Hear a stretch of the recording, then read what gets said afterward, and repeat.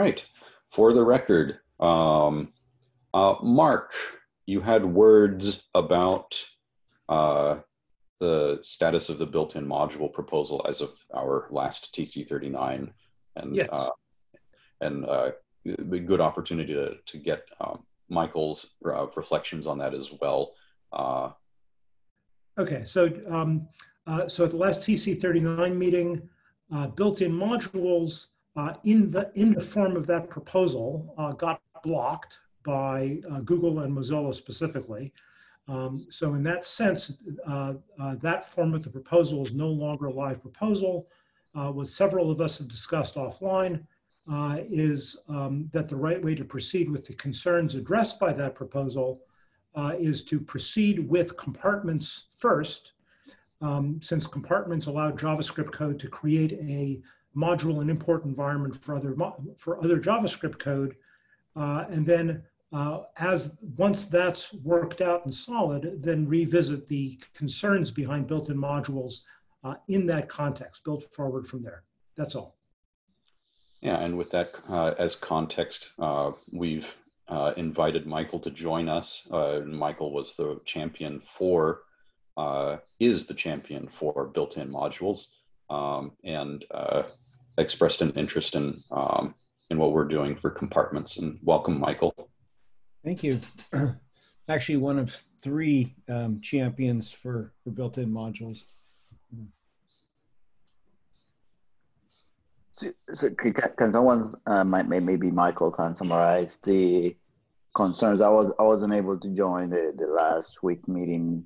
Um, can, can you summarize the the concerns that they raised, that Mozilla and and uh, Google um, raised on built-in modules that could be addressed by the compartments? so I'm not sure that the um, concerns that they raised can be addressed by compartments, um, but I will share the concerns that, that were raised. And uh, there have been uh, prior concerns that um, I believe that we had worked through. Um, and, and these concerns were actually um, uh, somewhat, somewhat new to, to us. Uh, and the concerns um, were, um, they're the same for both Google and, and for Mozilla. Uh, and the concerns are that um, web developers um, will have no inclination whatsoever to use uh, a module-based approach to access functionality and would continue to use the global object. And, and the web standards organizations um, would not put any new functionality in, into a module. Um, Google said that that was a hard no. Um, they also said that um, that um, they were very unlikely to support um, any new functionality in, in TC39 being placed in a module.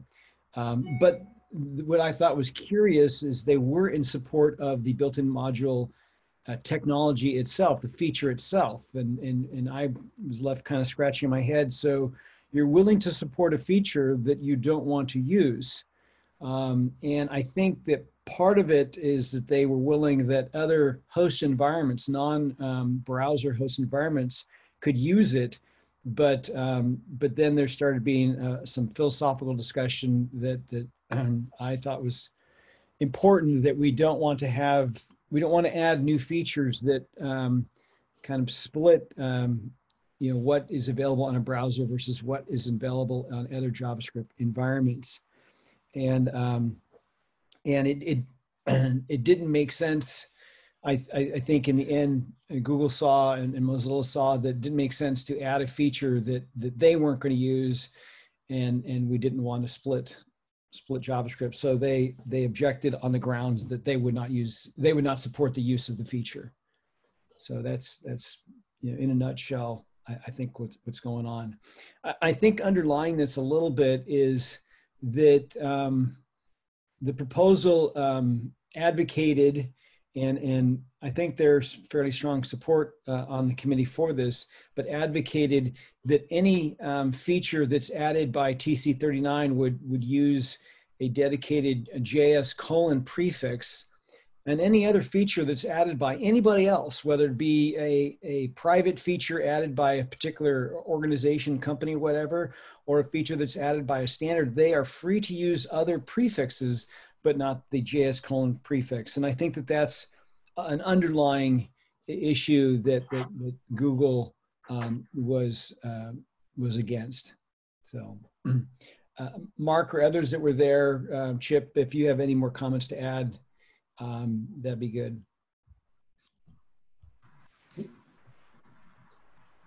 Yeah, I think that. Reasonable. Go ahead, Mark.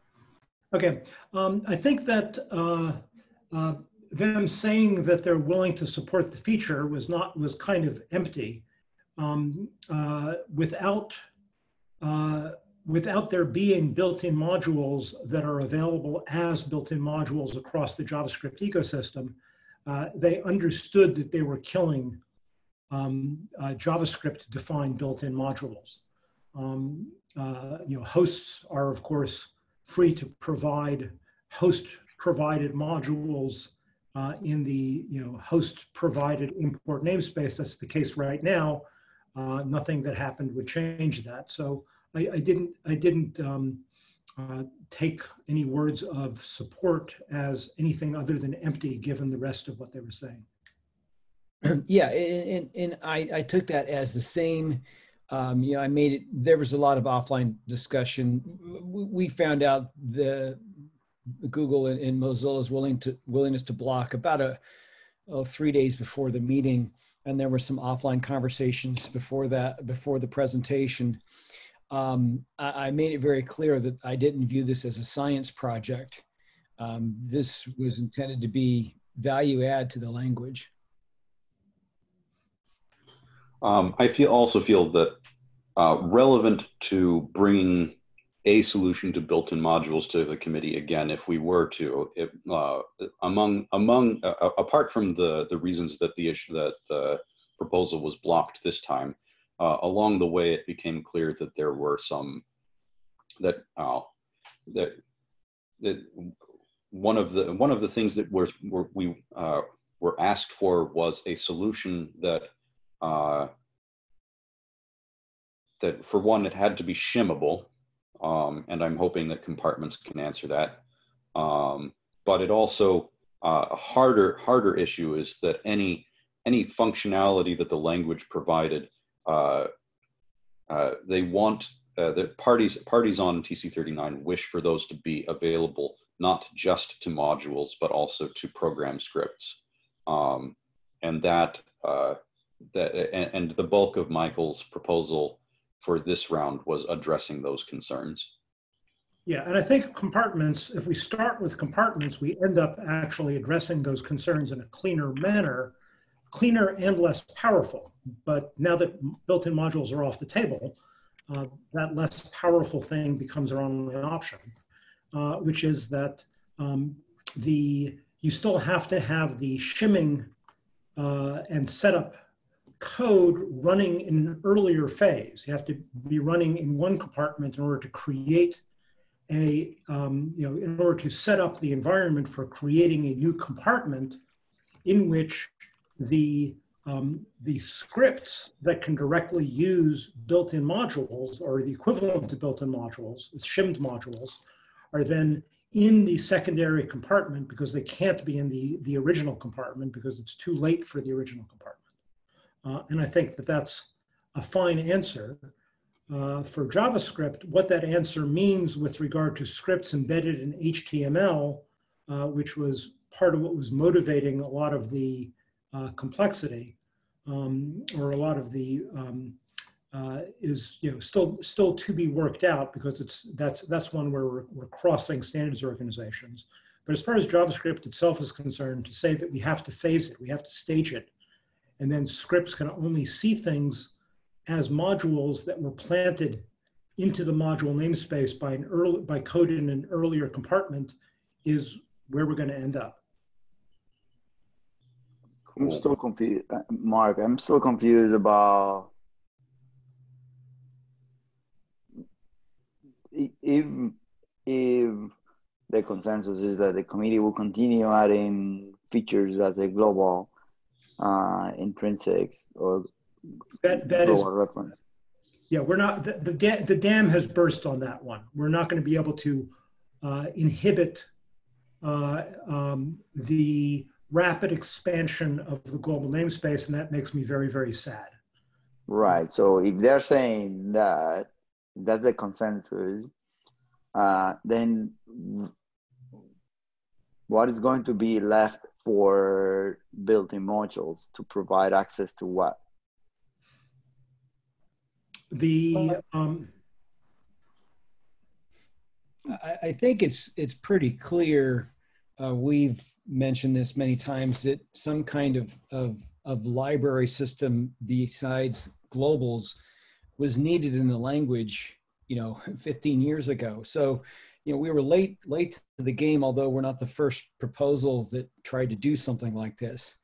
Um, yeah, I think there is um, the belief um, on the committee by some that well, we've gone this far and there hasn't been any problems, any showstopper problems. Why do we expect that there'll be problems in the future? Um, and I think that that's um, a little naive, but but that's an opinion, um, and and different people will come down uh, different ways on whether or not that's a valid concern or not. I think I think the one inhibition that we should all practice is that um, uh, adding adding new standard functionality to the global namespace by adding new global names uh, is expensive real estate in the same sense that adding new syntax is expensive real estate. It's less expensive than new syntax still, but it's much more expensive than adding new modules to a built-in module namespace.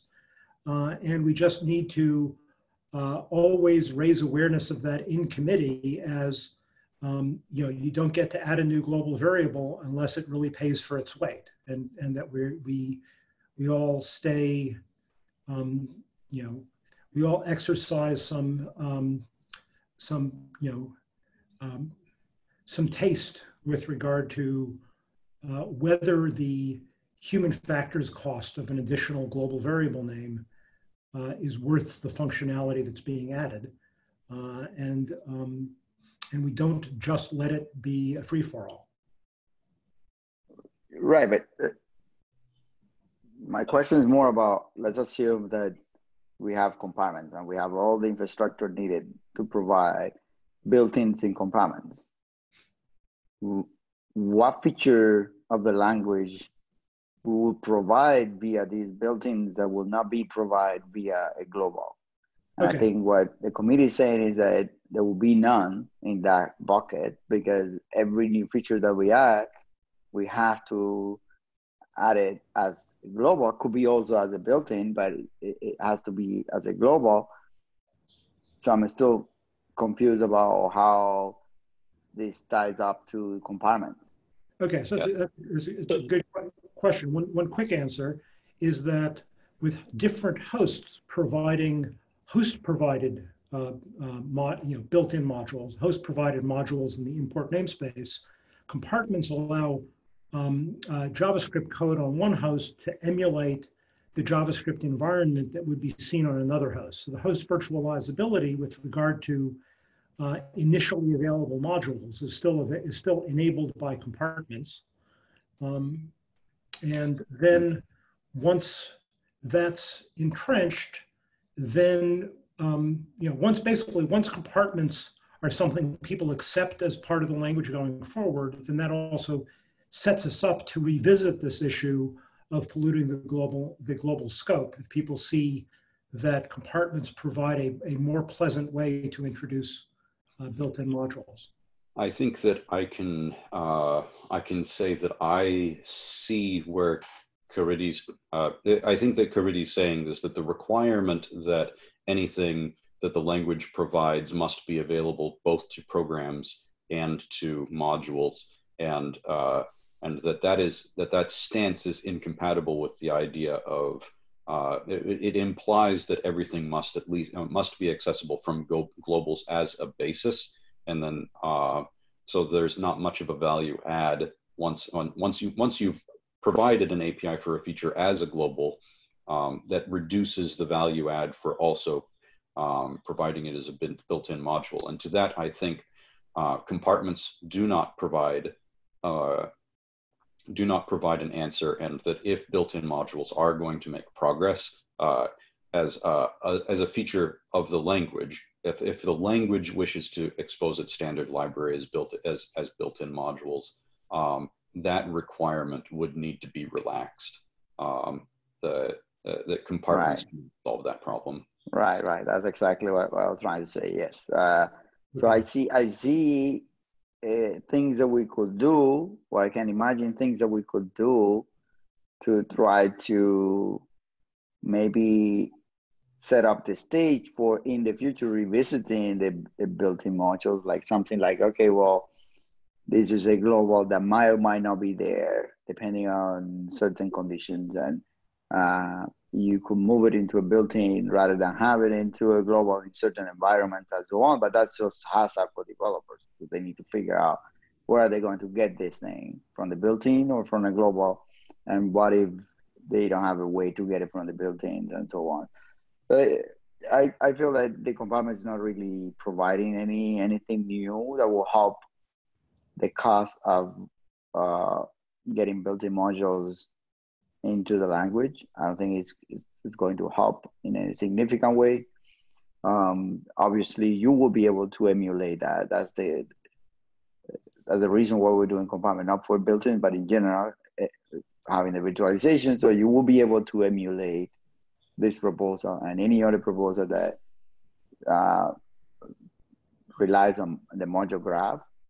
But I don't think it will be adding value to the proposal to try to advance it in the future?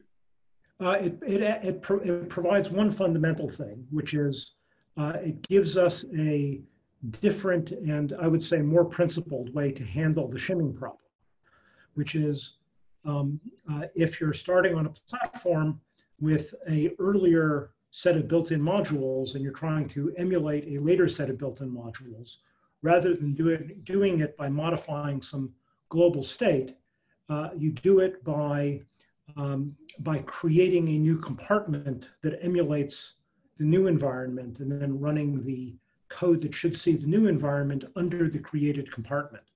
So it, it, it basically provides a staging answer rather than a modifying place answer uh, for shimming. Uh, and, and whether that's enough of an improvement to make a difference, I don't know, but it certainly is a difference.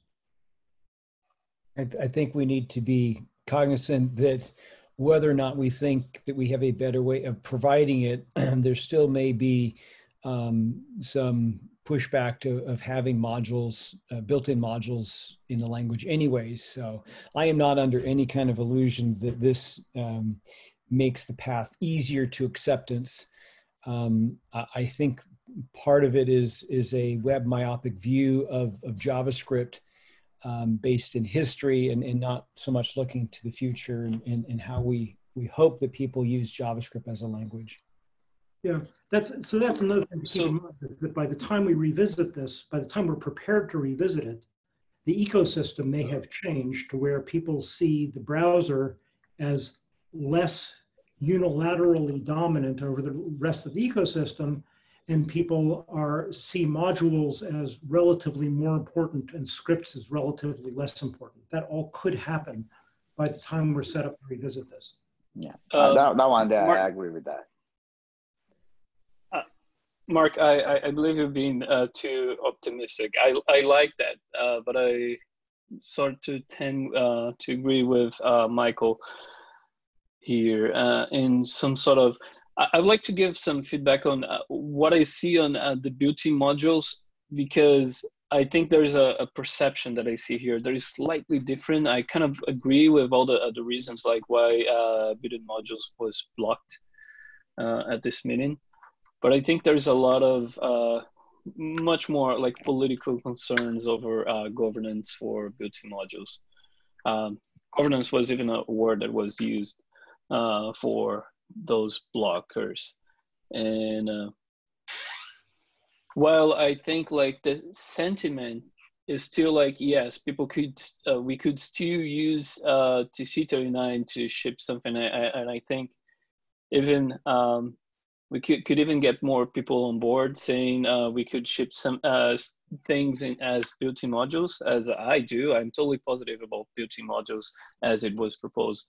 Um, but I I think the, the the the problem of people blocking are they're not really much into the concerns of interoperability uh, cross platforms. Uh, we have a problem with like the browser's reality they still want the built-in modules, but it just work for what you, uh, what works for them, but not in a cross-platform sentiment as like things that work in Node or Moddable or even beyond that.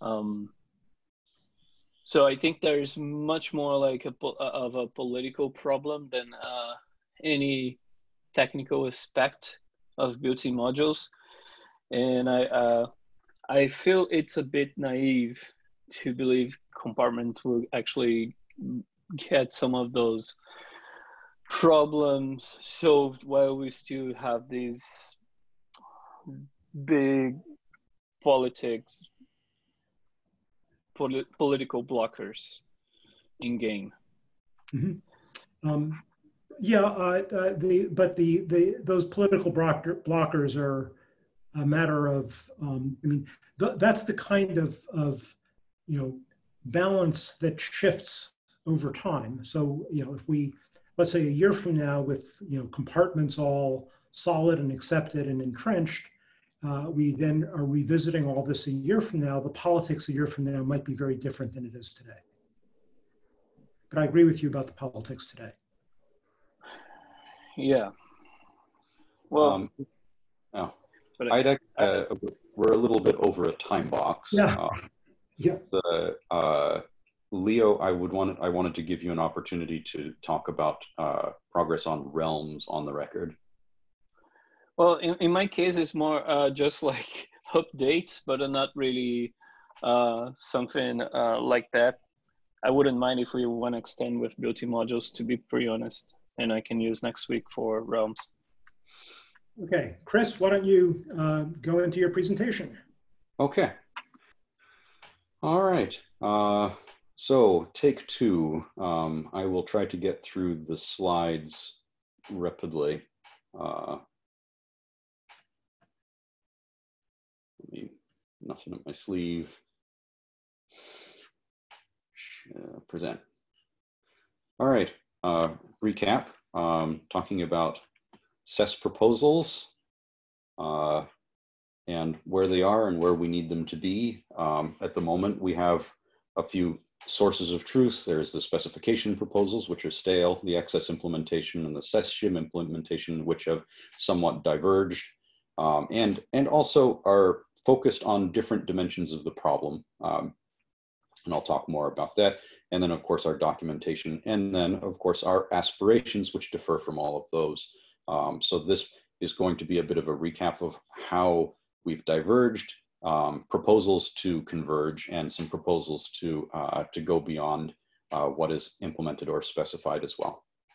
Um, uh, recap, SES, we are reframing the SES proposal as an, uh, we, we have an aspiration to reframe the SES proposal as an umbrella for, um, for se uh, security or integrity related um, uh, proposals uh, with our prior successes on the left, our um, aspirations on the right and how to break them down, like realms, lockdown, harden, um, and then layering compartment so that uh, we, we provide as much value as possible with, uh, with, with motivations and stages instead of um, proposing one big pill.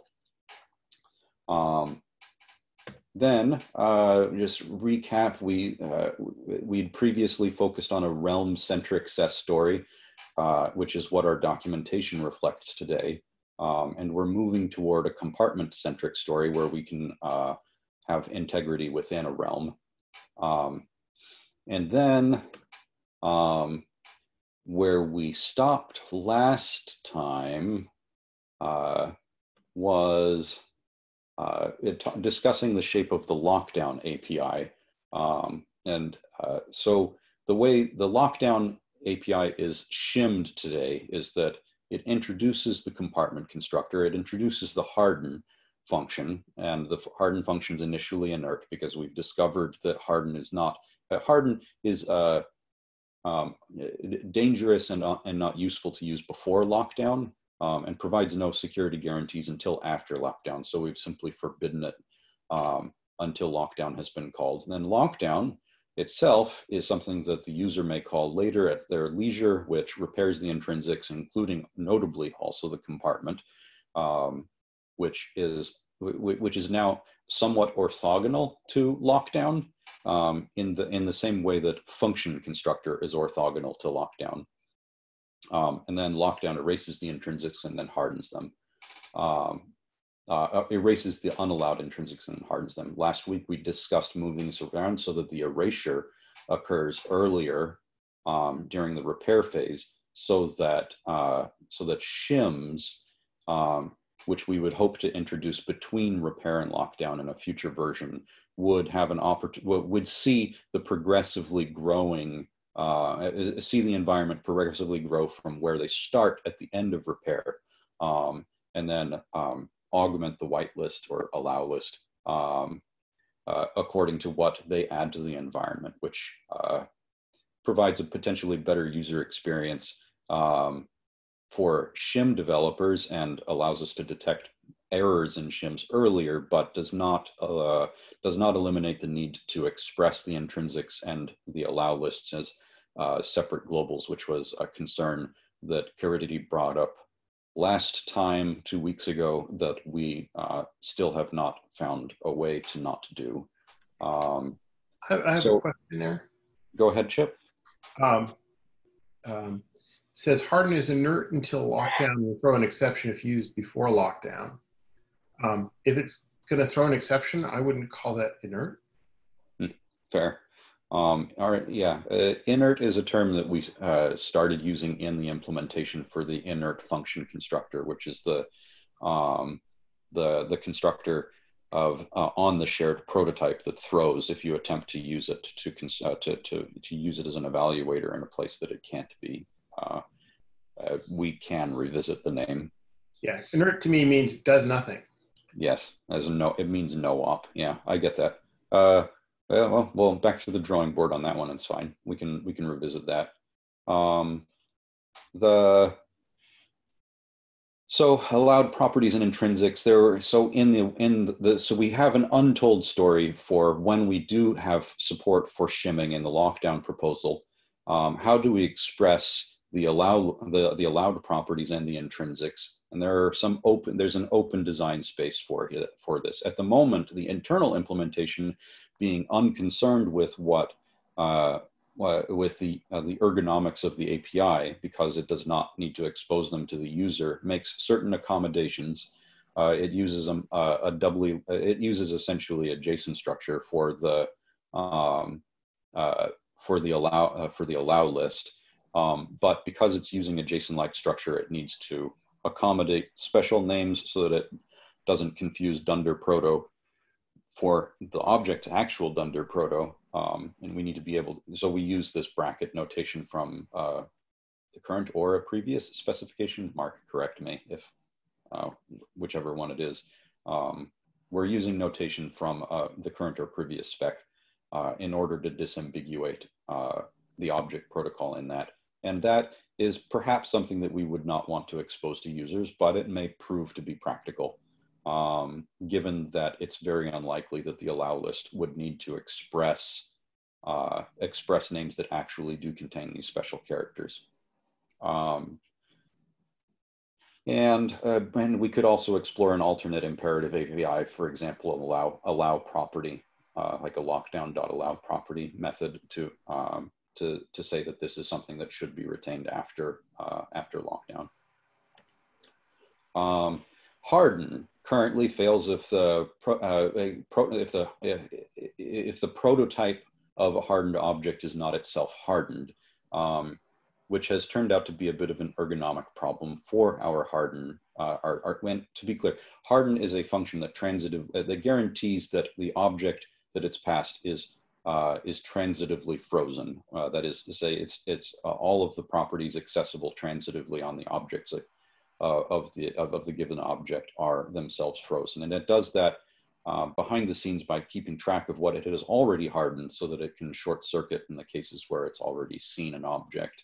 Um, the current implementation and uh, and therefore the basis for any proposal that we're about to write um, stops at the prototype. So if it finds that the prototype of an object has not been hardened, um, it just throws an exception. Um, the reason for this being that uh, the, the, reason for this being that if we were using harden, uh, that harden was invented in the era when we were talking about using realms as an integrity boundary um, as our as our primary uh, story about using it as an integrity boundary. Um, and harden, uh, it, it is not desirable for harden to transit a realm boundary and then uh, uh, into a realm that has not been locked down. Um, and our conclusion at the moment is that that is better served with a distortion on the membrane between the realms um, that would uh, cause the local view of the foreign realm to appear to be hardened um, without necessarily transiting that boundary. Um, and we feel that uh, we can simplify the harden API uh, from a use, from the user's perspective by making it so that harden uh, is simply transitively freezing also up the prototype chain. Um, so that's one proposal that we need to codify in the future. Um, so the compartment proposal, so, as Chris, go ahead. Before getting into this one, do you uh, happen to have a an example of uh, con constructing a compartment, uh, uh repairing it, lockdown, and harden in the proper order with examples of uh, the kind of allow listing that you will have to do and so on. So it would be it would be good to, to get an example to visually see. Yes, uh, we do not. Maybe, a, maybe having a visual as well yeah. of those of those steps, so people can understand what this this thing is doing. Because it's yeah. hard by just getting the this text to even for us that are already accustomed to this language, it's just hard to follow on along all the yeah. details at the moment we don't even have a prototype for what I'm proposing. Um, it's it's uh, but yes, we should track it an issue, and we should come up with an example shim. Um, one. and I, I mean, just just even if it is pseudocode or something like it, it mm-hmm. tell us like what kind of structures you have to have and what kind of information, the data yeah. is needed when calling yeah. those APIs. Yeah, we could yeah. we could come up with a sketch of, for example, taking uh, the the, the, the, the ANSI colors shim, which Monkey Patches the, the string prototype. And while, uh, while we certainly wouldn't advise uh, a frivolous use of, of, of, of the colors package as a shim, it does make a, um, a concise example of what would be necessary. That's a really nice example. I like that. Yeah. Um, a, a, a more substantive thing that's, a, that's much worse as an example, as an expository example uh, is, um, uh, but it's something that I'm involved in right now, is shimming the error stack proposal, which right now is not being done as a shim, it's being done as a built-in repair because we don't have the, the full shimming support in place yet. But I would like to move much of that into uh, being a shim rather than being built into uh, lockdown.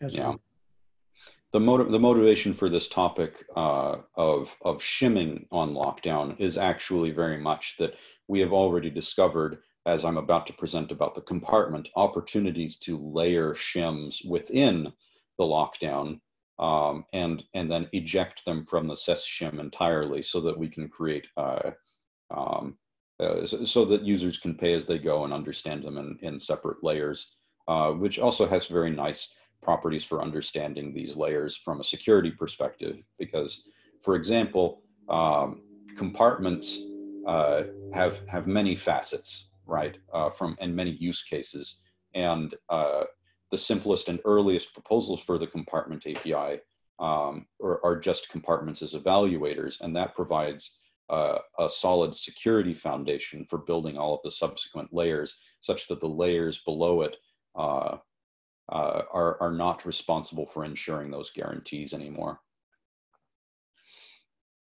Um, so the many facets of, of, of compartment, uh, it, the base layer of the compartment proposal that most of us are most familiar with is just an object that has an evaluate method that can evaluate source inside of a container. And this is the, this is the sufficient value, uh, foundation for being able to evaluate pro programs inside of a container um, after lockdown. Um, and the end, that, that layer gives us the ability to provide, um, to endow those compartments with limited uh, additional globals above those that are just granted uh, uh, as, as the intrinsics that provided by the language. Um, and then there's a layer atop that, which is the, uh, which I'd like, which colloquially is the XS layer, uh, which is a compartment as a vessel for compiled modules. Uh, and in this world, the XS world, the only the only modules that you get in an application are those that were compiled into the into the binary um, they serve in a similar way, in a similar capacity to the built-in modules that we've discussed before. Um, and in this world, the use of the compartment constructor is to, uh, to uh, successively attenuate compartments. So you would be able to say, I, I, have, I have in my compartments module identifier namespace all of the built-in modules that uh, that there uh, all of the modules that there are or ever will be in my application, and then um, uh, create a compartment within a compartment that receives a limited subset of those compartments by name. And uh, the compartment has the ability to execute those modules synchronously because the, they do not, there is in this world, the compartment constructor is not a loader. All modules that will ever, ever exist have already been loaded and can be immediately synchronously executed. Um, the compartment shim does not have that capacity yet. Um, and, uh, and it is our intention to implement it so that it provides a, an equivalent ecosystem to XS.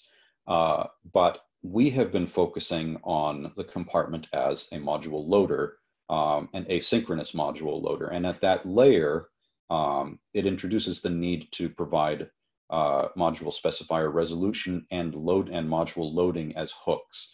Um, and at that layer, it is sensible for there to be a load method um, that, uh, that, that, that uses these two hooks in order to build out a module graph that uh, the prior layer would be able to proceed from. Um, so once you have loaded the transitive modules of a, of, of a module graph, you can then use import now um, in order to execute them. And you would be able to use the same XS style usage of compartment to um, provide limited access to, to modules to subcompartments. It isn't just about limitation as well. Um, it's possible in XS to have um, uh, all of, uh, the, the, module text for every module in your in your root compartment, but not be able to link them because their uh, relative module identifiers do not make sense in that compartment, and you need to um, alias them into a child compartment in order for them to be mutually linkable, which is a detail we can discuss in the future. Um, and then, go ahead. Uh, one thing that confuses me on the slide is uh, twice you have just a simple dot as a specifier, and I don't know what you're trying to uh, to to convey by using just a dot as a specifier. Ah, I see. Um, it, that is a convention in uh, the, the, the dot is an alias for the main module in the Node.js packaging ah. convention. Um, I've only used that here in order to avoid having to have a more a longer name. um, it's, so it's, it's, go ahead. So I, I I suspect that import now is only useful you have a load. Is that true? Uh, in XS, no. Uh, in XS, you the import now comes at a, a, at a lower layer because it does, and it does not have a load method because all of the modules in XS are precompiled into your binary. Um, for anything on the web or anything in Node, um, import now would not be useful without load. And I will discuss more as we go down. I have a proposal that import now itself is not particularly useful on the specification, and I'll explain why later.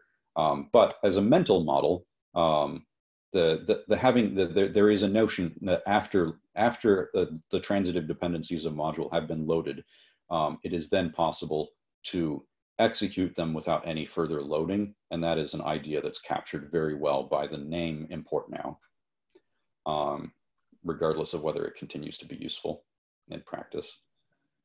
Yeah, Uh, uh, my only suggestion here is, is change the load to preload. Um, since that's the, the term that we use in, in browsers and maybe even in Node, but preload seems to be a little bit more easy to digest. Preload is more specific than this is intended to be. Um, lo- preloading is a case of loading, but uh, let, uh, in, in the interest of time, um, uh, uh, we are going to revisit every uh, every one of these slides at some point in the future, and let, let's dig into that then. And um, the so, uh, the, but but as as you're both as as you've pointed out, I'm building up to the actual use case, which is uh, which is dynamic import based off of compartment, which is built on top of load and import now, um, or preload and import now. And uh, Um, go ahead. So Kris, I, I'm sorry, I just want to add something. I, I might have missed this. Um, I'm sorry if that's the case, but before import now and load, whatever, regardless uh, the name, uh, it seems like they're both um, more useful as like serialized um, methods rather than just like uh, one importing and one loading. Um, it's Serialized methods, as in you would.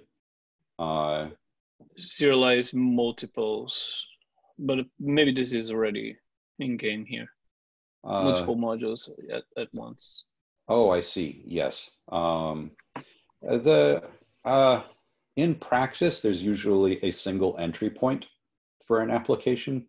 Um, it is certainly possible to do mul- uh, to, to, for example, promise all on uh, a, a series of loads, um, and then uh, and then and then opportunistically import them.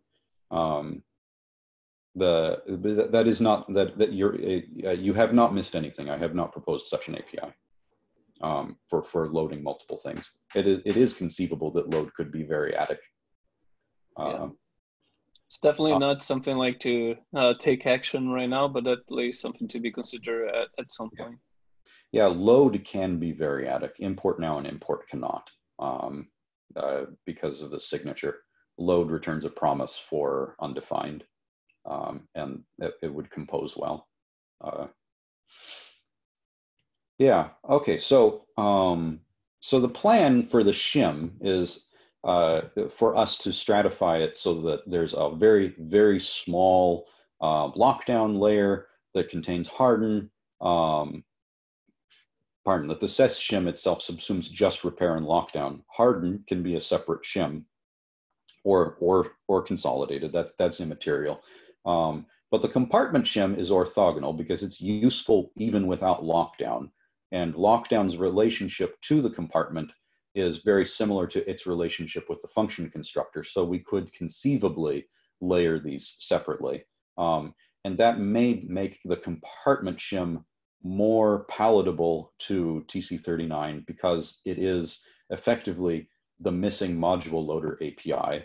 Um, and uh, and it does not need to be loaded into the SES gun in, in, or be associated with with SES directly in order for it to make progress. And it making progress is helpful to SES. Um, and then uh, and then the set and then the but the compartment shim with the evaluate layer um, is also separate separable from the module layer. Um, and the module layer has two facets to it itself. One part of it, which is uh, sufficient for uh, for third-party modules like CommonJS, JSON, and WASM, um, but is not sufficient for ECMAScript modules because, um, at least for the perspective of the shim, it's desirable for the user to pay as they go, um, the pay for what they need, and uh, and being able to do ESM on the shim requires and training a full parser like Babel, um, which means that the uh, that all of the layers above ESM weigh about 35 kilobytes minified, and if you include ESM support, the, the, the size of the shim blows up to about three megabytes. Um, and in order to make it practical for us to use the shim, uh, it is probably possible for us to layer this in a way that, uh, that the minimal evaluator runtime is sufficient for uh, as, as a compile target for ESM so that uh, a bundled application would not need to, uh, to contain that parser. Um, so this, this is the direction we're kind of going with the shim for implementation related reasons and also somewhat in order to frame it in a way that makes it more, uh, more palatable to, to, uh, to the committee. Um, so uh, something that we need to do for the shim is uh, convert the support for static modules into itself a layer of shim, which we can only do after we add shimming support to lockdown. Um, and the idea would be to use uh, would be to use the the version of SES that does not have the compiler as uh, as as a bootstrap. Um, so here, uh, thus begins the, uh, the succession where I propose changes to the shim and very and shim and proposals uh, for TC39. Um, the first one is one that we've already implemented in SES shim, and that is the addition of a name uh, to the options bag for the compartment constructor. Uh, compartments are similar in spirit to uh, functions in this way. The name is useful in the implementation for surfacing the name of the compartment as uh, loader errors uh, transit up. Uh, so you can say that I failed to load module B because I failed to load, I failed to load module A because I failed to load module B from this compartment B and et cetera, et cetera, uh, and provide informative errors. Uh, I don't expect that this is controversial. um, the, um, and then support loading without executing. So the uh, as I mentioned in the layering, that there's this load or possibly preload method on the compartment that is uh, is potentially useful even if you do not intend to eventually import, because this can be used in tools in order to build out the module graph for an application um, for either the static analysis of that graph or in our particular application's purpose um, to build an archive of a full application that can be then, trans then shuffled off somewhere else.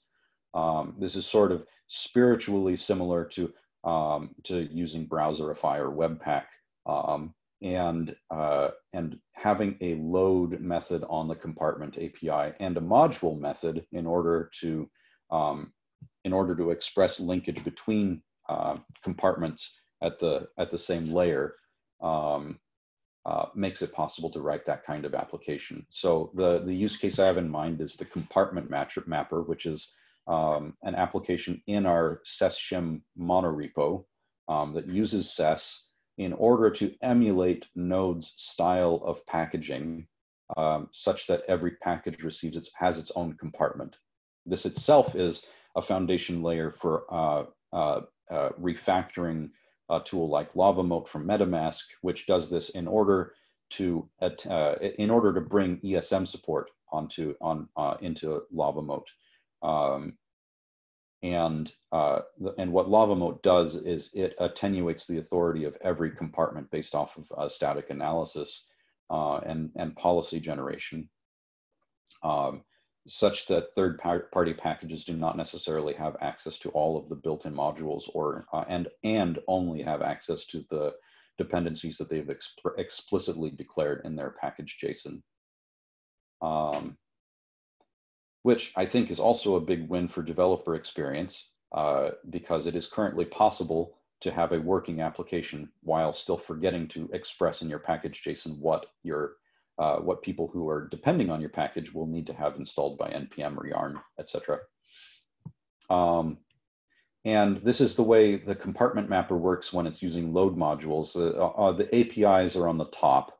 We have an import location method, a load location, write archive, make archive parse and load and import on archives. Um, and the way it works is that in the base, in the simple case, if you're just importing, uh, if you're importing an application off of the file system, time check, I have five minutes for. Uh, you you would go down this leftmost workflow where you would search for the uh, uh, you'd search for the package JSON that contains the module you're trying to import, build a graph of all of its compartments by searching for node modules in the in parent directories from whatever module from whatever package you're you're in, and then uh, assemble that into a graph of compartments, actually constructing those compartments and linking them to each other, and then calling load, and then calling import. Uh, and that's that's the workflow for essentially implementing the equivalent of node and that module name. Um, load location does everything of, of, of, that except not executing. Um, then write archive uh, does all of the same things except that instead of executing, it's passing its own import hooks that allow it to record and observe what was loaded in order for it to satisfy the constraints of your entry module and then it writes those, uh, it writes whatever it loaded into a zip file. Um, so resuming on the other side, you can skip those first two steps. If you start with a zip file, and just parse it, read the, the compartment map out of a JSON file in that archive, and then reconstruct and assemble your compartment graph from that directly instead of inferring it from the shape of the file system, then load, then execute, etc. Um, So I'm proposing that we add module and load methods to the compartment API. And this is a sample of how to use that. Um, and in this case, we have two compartments. There's one compartment that is a dependency of another compartment. We create the parent compartment in this way, um, passing the dependency as a module into the module map uh, of the parent compartment, and then giving it an import hook so that it can uh, load so that it can load modules off of the file system in whatever location uh, in the package location for that compartment, and then you call load. And then you could call import.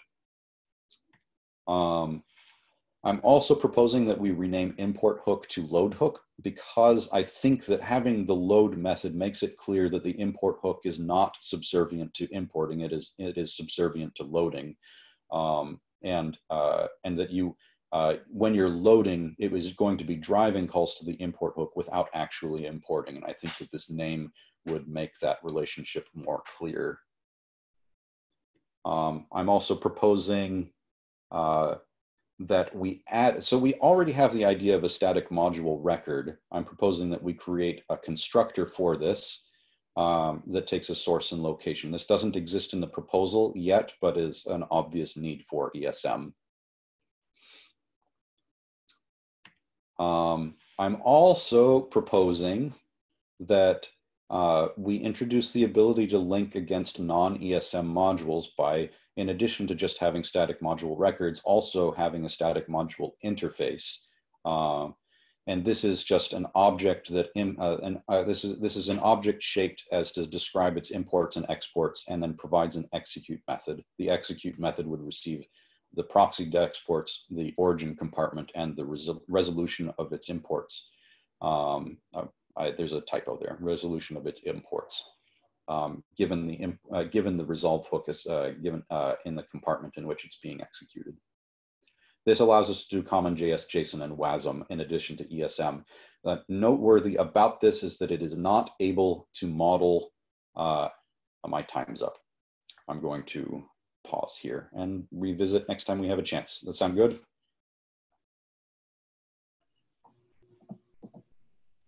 Yeah, I think your uh, presentation suffered from rushing a bit there. Yeah, well, uh, the idea is to cover the material and then revisit. Uh, uh, so we can break this down into topics. Uh, and I'm apolo uh, apology for the rush. How much, how much remains on this first pass? how did we do? We got to, as soon as I find my window, oh yeah, it's still up full presentation mode tab. Uh, we got to slide 21 of 32. Okay, so let's let's continue this first pass next time. Sounds good. Um, I will stop recording.